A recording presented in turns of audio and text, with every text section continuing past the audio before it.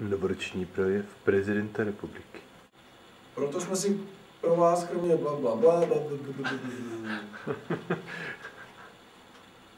Hmm, ty vole, to nejde vůbec, já to musím, fakt to bude na několikrát. Připravili jsme jej pro vás do prdele. Počkej, ty už nahráváš? No, jasně. Aha. Proto tichučko. Aha, tak já jsem furt že zkoušíš jenom. Vážené dámy, vážení pánové, dovolte mi, abych vás jménem všech Tohle se pak pěkně sestříhá a bude to dobrý dokument uh, po Silvestru na net. Nejsme přece zasraná televize do prdele.